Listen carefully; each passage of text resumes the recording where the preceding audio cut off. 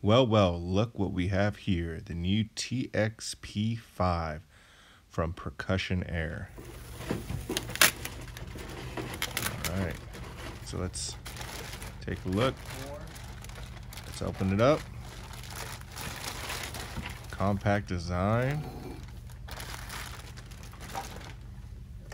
This is great. Clean packaging.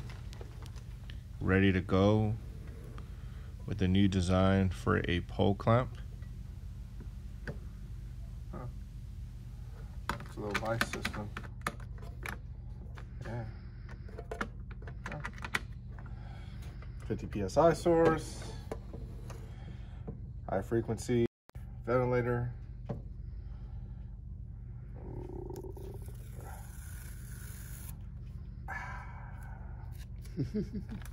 all right, this is what it'll look like when it's all connected. Portable transport, high frequency percussive ventilation.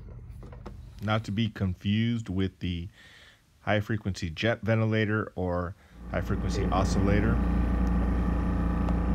This is the one and only high frequency percussive ventilator by Percussionaire.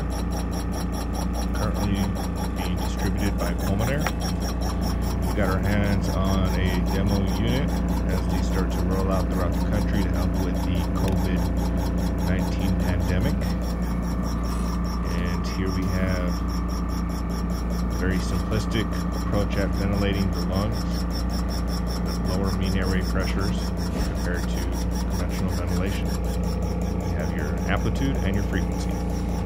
So, quick reminder the frequency is going to be displayed as the percussions per minute, while the amplitude is going to show as the map along with the peak pressure.